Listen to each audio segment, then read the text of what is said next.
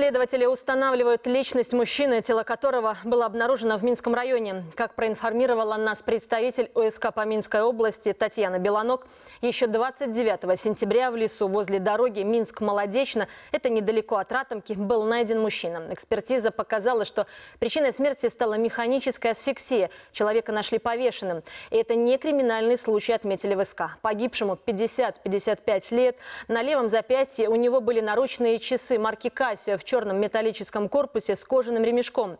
В правом кармане джинсов обнаружен металлический ключ. Документов, мобильного телефона, банковских карт.